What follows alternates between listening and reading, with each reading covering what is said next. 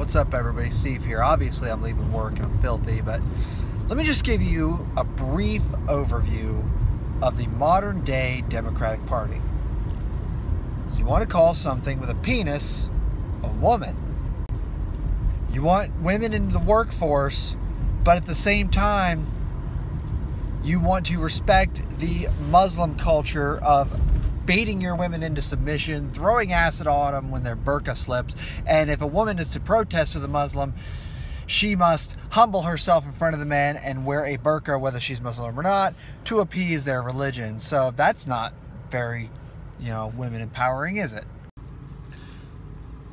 Donald Trump says he wants to get rid of the criminalization of homosexuality across the world. And instead, that is interpreted as disrespectful to Muslim countries because we don't want you to kill somebody because of their sexual orientation.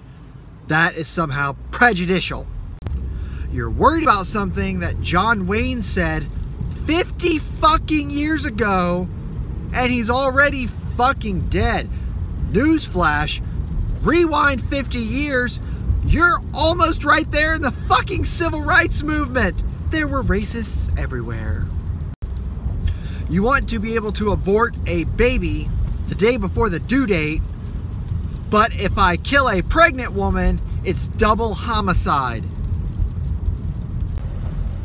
If a business is cooking pork in the same business district as a Muslim owned business, they are pretty much forced to leave the area.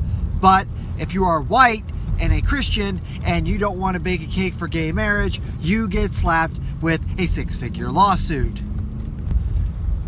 You want to call pedophilia a natural sexual orientation.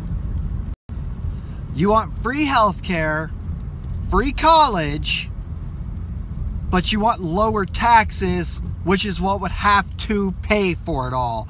Because believe it or not, the word free does not mean that somehow the books get manufactured for free and the doctors and teachers get their educations for free and then therefore work for no salary.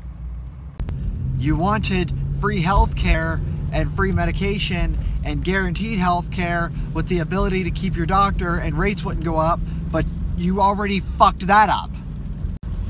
You don't want the border secure even though there is a high percentage of illegal immigration linked to drugs and sex trafficking, but you want to control the guns in my household that I pay for as a law abiding citizen when 0.001% of legal gun owners actually do something dangerous.